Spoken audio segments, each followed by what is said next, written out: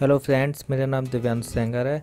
आज का हमारा टॉपिक है GST ITC zero four form किसे फ़ाइल करना है एंड कैसे फ़ाइल करना है। लाइव डेमो भी देखेंगे एंड सारी कंडीशंस एंड डिटेल्स समझेंगे कि किसे किसे फ़ाइल करना होगा, किसे फ़ाइल नहीं करना होगा।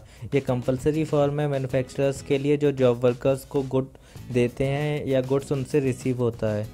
तो क्या क्या कंडीशंस हैं जो फुलफ़िल होंगी जब जॉब वर्कर को मैन्युफैक्चरर गुड्स दे सकता है एंड कब आपको ये I T C zero four form file करना होगा, ड्यू डेट क्या होगी, ये चीज़ें समझते हैं। तो सबसे पहले देखते हैं कि किसे फिल करना है। Who need to file I T C zero four? तो कोई भी रजिस्टर्ड पर्सन जो चालान के थ्रू गुड्स अपने मूव करता है जॉब वर्कर के लिए। अगर सेल इन्वॉइस रेज कर रहा है तो कोई ज़रूरत नहीं है आपको I T C zero four file करने की। लेकिन आप विदाउट ड्यूटी अगर चालान के थ्रू मतलब डिलीवरी चालान के थ्रू जॉब वर्कर को गुड्स सेंड करते हैं, जो गुड्स आपको रिटर्न बैक होने हैं या फिर जॉब वर्कर की साइड से सेल होने हैं तो उससे ये डिटेल फिल करनी होगी। अगर आपने इनपुट और कैपिटल गुड्स मूव किए हैं जॉब वर्कर को, या फिर आपने रिसीव किए हैं इनपुट या कैपिटल गुड्स जॉब वर्कर से जो आपने पुराने टैक्स पीरियड्स में पहले कभी भेजे थे, वो गुड्स आप पर वापस आए। या फिर जॉब वर्कर से जॉब वर्कर के पास गुड्स जा रहे हैं। एक जॉब वर्कर ने दूसरे जॉब वर्कर को काम हैंडओवर कर दिया, सब कॉन्ट्रैक्ट दे दिया। तो अगर ऐसा भी कंडीशन है तो उसमें भी गुड्स मूव हो रहा है तो उसमें I T C zero four fill करना है प्रिंसिपल को। मतलब जो एक्चुअल ऑनर है, जिसने जॉब वर्क जॉब वर्क के लिए अपने गुड्स ट्रांसफ़र किए हैं या फिर कैपिटल गुड्स ट्रांसफ़र किए हैं। या फिर जब प्रोडक्ट कंप्लीट हो गया तो डायरेक्ट सप्लाई कर रहे हैं जॉब वर्कर से जॉब वर्कर के प्रेमाइसिस से। लेकिन इसमें ये कंडीशन याद रखना कि अगर जॉब वर्कर के प्रेमाइसिस से सप्लाई कर रहे हैं तो वो प्रेमाइसिस एडिशनल प्लेस में ऐड होना चाहिए प्रिंसिपल के। मतलब जो आपका रजिस्ट्रेशन सर्टिफिकेट है, वहाँ पर वो जॉब वर्कर का एड्रेस आना कंपलसरी है। तो इन चारों कंडीशंस में अगर प्रिंसिपल ने गुड्स मूव किए हैं या जॉब वर्कर के थ्रू गुड्स मूव हुए हैं तो I T C zero four file करना कंपलसरी है। इसकी फाइलिंग डेट क्या होगी? फाइलिंग डेट है twenty fifth of next month of succeeding quarter मतलब आपका क्वार्टर जैसे मान लीजिए जुलाई अगस्त सितंबर है तो ट्वेंटी फिफ्थ अक्टूबर तक होगी। लेकिन आपको बताता हूँ जुलाई अगस्त सितंबर क्वार्टर की डेट एक्सटेंड हो गई है वो डेट थर्टीन नवंबर है तो अगले क्वार्टर से आपको जैसे ही क्वार्टर एंड होगा, उसके बाद जो नेक्स्ट मंथ होगा, उसमें ट्वेंटी फिफ्थ की डेट तक आपको ये फॉर्म फ़ाइल करना कंपलसरी है। इसके बाद आपसे बात करते हैं कि नील रिटर्न फ़ाइल करना कंपलसरी या नहीं। मान लीजिए आपने किसी तरह के भी ये गुड्स मूव नहीं किए तो आपको रिटर्न फ़ाइल करनी है तो कंपलसरी नहीं है। अगर आपने कोई गुड्स जॉब वर्कर को दिए या जॉब वर्कर से रिसीव हुए हैं या फिर जॉब वर्कर के प्रेमाइसिस से सप्लाई हुए हैं या जॉब वर्कर से दूसरे जॉब वर्कर के पास गुड्स सप्लाई हुए हैं, इन चारों कंडीशंस के अलावा और किसी कंडीशन में आपको ये फॉर्म फ़ाइल करने की ज़रूरत नहीं है। गुड्स रिटर्न नहीं हुए सप्लाई नहीं हुए। इनपुट के लिए विद इन वन ईयर का पीरियड है या कैपिटल गुड्स के लिए थ्री ईयर का? विद इन दिस पीरियड अगर गुड्स रिटर्न नहीं हुए तो मान लिया जाएगा वो आपने एक्चुअल सप्लाई किया है और आपको सप्लाई पर टैक्स देना पड़ेगा प्लस इंटरेस्ट देना पड़ेगा। और सप्लाई की डेट क्या मानी जाएगी? जब आपने एक्चुअल ट्रांसफ़र किया था। मान लीजिए आपने जो एक साल पहले ट्रांसफ़र किया था जॉब वर्कर को वही डेट मानी जाएगी, उस डेट से इंटरेस्ट कैलकुलेट होगा और सप्लाई की डेट वही मानी जाएगी।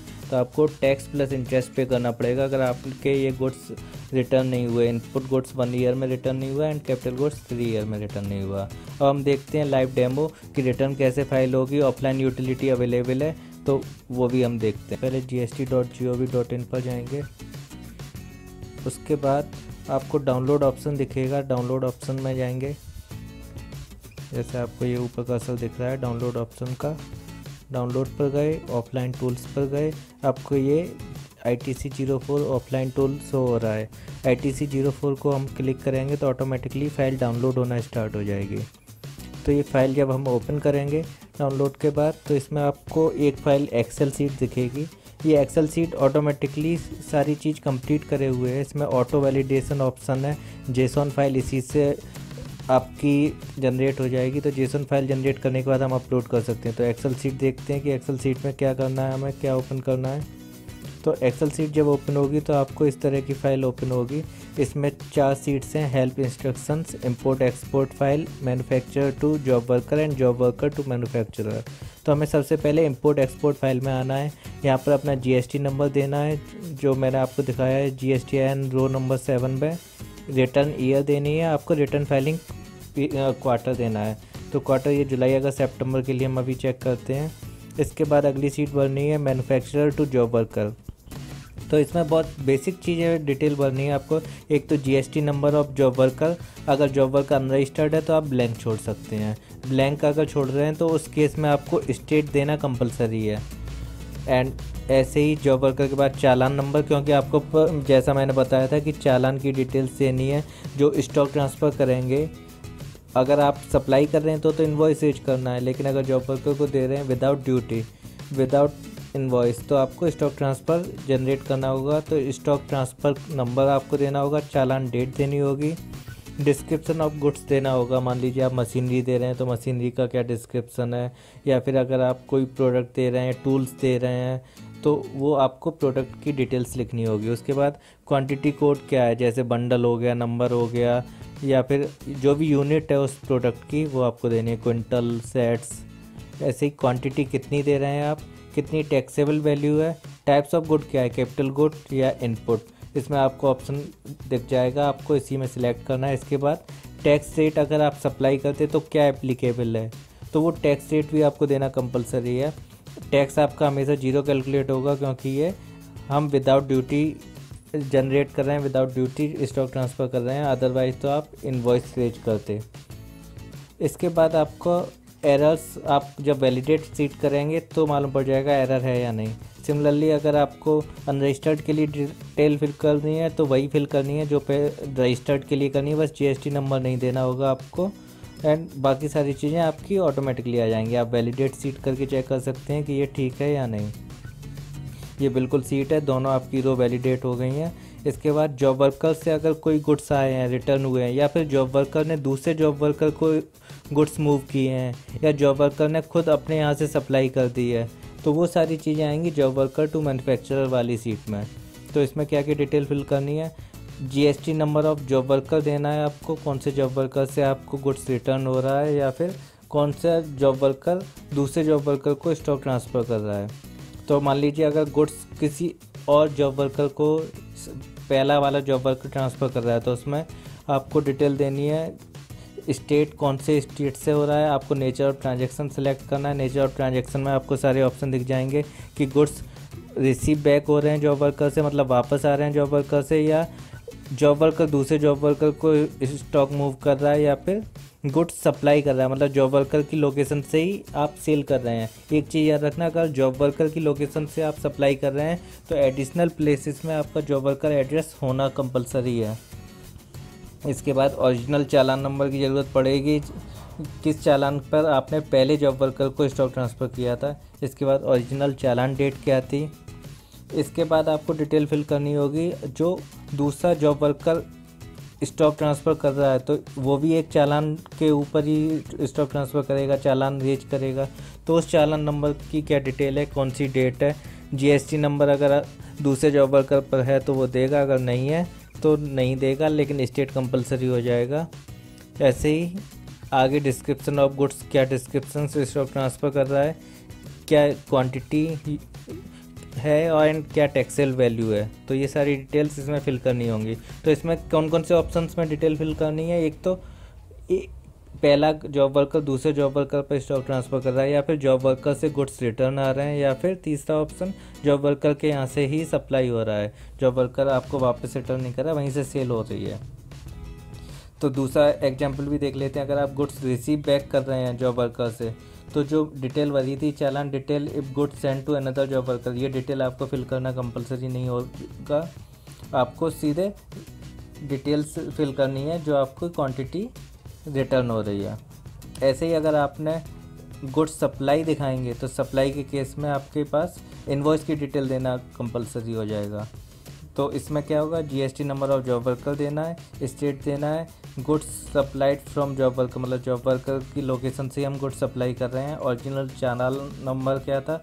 डेट क्या थी? इसके बाद इन्वॉइस जो हम रेज करेंगे सेल के लिए, वो इन्वॉइस की डिटेल देना कंपलसरी हो जाएगा। डेट देना ज़रूरी है। गुड्स कौन से हम सेल कर रहे हैं या सप्लाई कर रहे हैं, उसकी डिटेल देना ज़रूरी है और इसमें टैक्सेल वैल्यू भी आ जाएगी क्योंकि टैक्स भी लगेगा। तो आप डिटेल समझ गए? अगर आप गुड्स दूसरे जॉब वर्कर को भेज रहे हैं तो पहले चालान की डिटेल्स आपको देनी होंगी, प्लस जो नया चालान आप जनरेट करेंगे दूसरे जॉब वर्कर के लिए तो उसकी डिटेल्स भी आपको देनी पड़ेंगी, प्लस प्रोडक्ट की डिटेल तो आपको देनी ही है। ऐसे ही दूसरे केस में क्या था, अगर गुड्स वापस आ रहे हैं जॉब वर्कर से तो ओरिजिनल चालान की डिटेल तो हर केस में आपको देनी है कि किस चालान से जॉब वर्कर पर प्रोडक्ट गया था। इसके बाद आपको प्रोडक्ट की डिटेल देनी है। अगर कुछ सप्लाई कर रहा है जॉब वर्कर सप्लाई हो रही है जॉब वर्कर की लोकेशन से तो इन्वॉइस की डिटेल्स देना कंपलसरी हो जाएगा एंड प्रोडक्ट्स की डिटेल तो हर केस में है। मतलब कौन कौन सी डिटेल कॉमन है? एक तो आपकी जो ओरिजिनल चालान इशू किया था, उसकी डिटेल आपको देना कंपलसरी होगा हर केस में। दूसरी डिटेल आपको देनी है प्रोडक्ट की डिटेल डिस्क्रिप्शन ऑफ़ गुड्स क्या था यूनिक क्वांटिटी क्या थी मतलब किस तरह का, किस टाइप में था क्वांटिटी क्या थी टेक्सल वैल्यू क्या थी। तो ये कॉमन है। इसके बाद चेंज क्या हो जाएगा? अगर आप जॉब वर्कर से जॉब वर्कर पर भेज रहे हैं तो नया चालान नंबर अगर जॉब वर्कर से सप्लाई कर रहे हैं तो इन्वॉइस नंबर अगर आप जॉब वर्कर से रिटर्न ले रहे हैं तो कोई भी डिटेल एक्स्ट्रा फ़ीड नहीं करनी पड़ेगी other than original challan number and product details I think ये आपको क्लियर हो गया होगा। इसके बाद जब आपकी ये डिटेल फिल हो जाएगी, आप वैलिडेट करके देख लेंगे।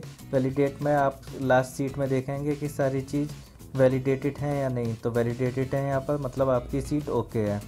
इसके बाद आप अगेन इंपोर्ट एक्सपोर्ट फ़ाइल पर जाएँगे। यहाँ पर जनरेट फ़ाइल टू अपलोड करेंगे। प्रोसेसिंग में टेक सम टाइम जैसे ही आए आप ओके कर देंगे। आपकी ये फ़ाइल जनरेट हो जाएगी पाथ मांगेगी, आप पाथ दे सकते हैं। एक्सपोर्ट कंप्लीटेड तो ये पाथ आप कहीं पर भी दे सकते हैं डेस्कटॉप पे, जैसे मैं अभी ये पाथ दूँगा इस फ़ाइल का। फ़ाइल का नाम आप सेव कर सकते हैं। जैसे मैं सेव कर रहा हूँ quarter one I T C zero four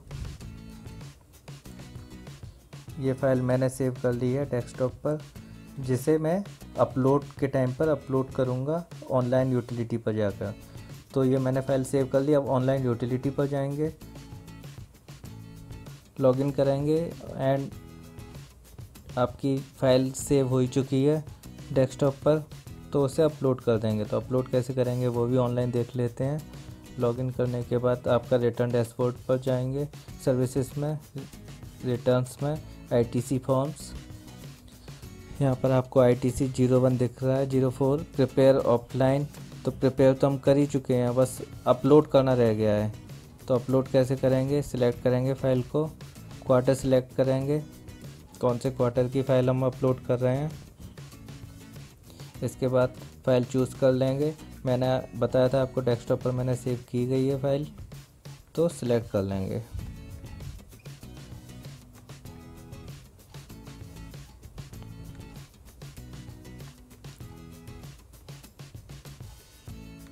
Quarter one I T C zero four ये वाली फ़ाइल मैंने सेव की थी।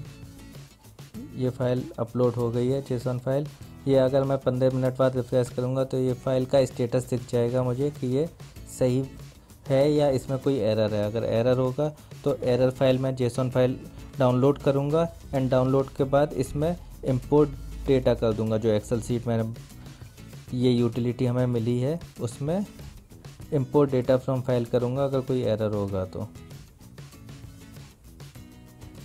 आई थिंक ये आपको क्लियर हो गया होगा। इसके बाद आप ऑनलाइन इनिशिएट फाइलिंग पर जाएँगे।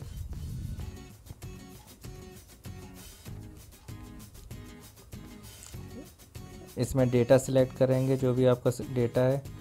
डेटा मैंने अपलोड कर ही दिया है। एक चीज़ ज़रूर है कि ये ऑफलाइन यूटिलिटी के थ्रू ही जाएगी। जैसे ये आ रहा है आपकी डिटेल नंबर ऑफ़ रिकॉर्ड छः सौ नौ थे। टैक्सल वैल्यू तो ये मैं फ़ाइल रिटर्न कर सकता हूँ। अभी फ़ाइल रिटर्न नहीं करेंगे क्योंकि ये सिर्फ़ मैंने डेमो के लिए रखे थे। आई थिंक आपको ये क्लियर होगा।